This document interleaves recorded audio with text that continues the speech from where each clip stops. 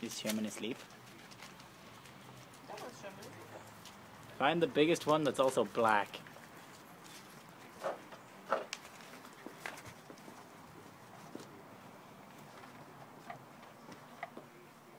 Oh no, look at how cute we are. When we look down from above.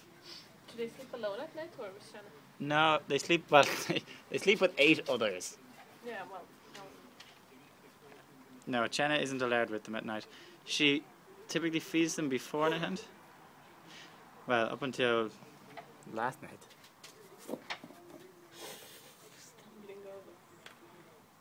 Sometimes we think we can move faster than we really can. I see the buns. Oh, Chenna.